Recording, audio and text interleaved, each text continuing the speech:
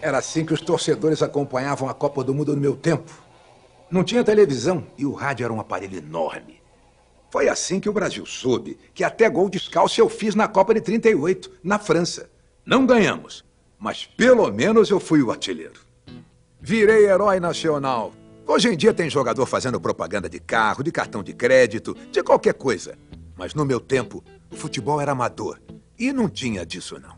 Não tinha até eu começar a fazer. Meu apelido era Diamante Negro. Uma jogada me imortalizou. A bola estava vindo nas minhas costas, não dava para virar, dominar, virar de novo e chutar.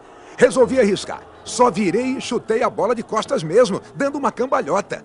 Estava inventada a bicicleta. Em 1942, deixei o Flamengo para jogar no São Paulo. Foi a negociação mais cara do futebol sul-americano. Traduzindo para os dias de hoje, não chega a unha do dedinho do pé de um brasileiro que joga entre os grandes da Europa. Ah, se eu jogasse hoje. Mas fui um dos primeiros garotos pretos e pobres a conseguir fazer dinheiro com futebol. A ser ídolo nacional e exemplo para qualquer um que sonhasse vencer na vida. Por querer receber pelo meu trabalho, fui até chamado de mercenário. Mas isso não importa. Fui um jogador de futebol profissional meu nome é Leônidas da Silva e sou um cidadão negro, brasileiro.